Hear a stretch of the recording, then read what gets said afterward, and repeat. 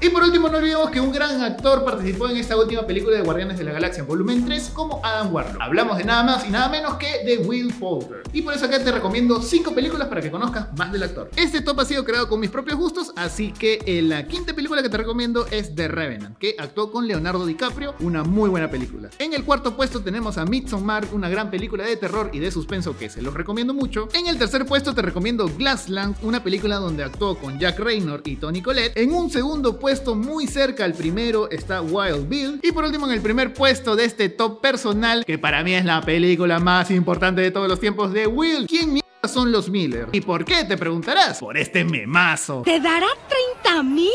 A mí me dará mil dólares. ¿A ustedes les pagará?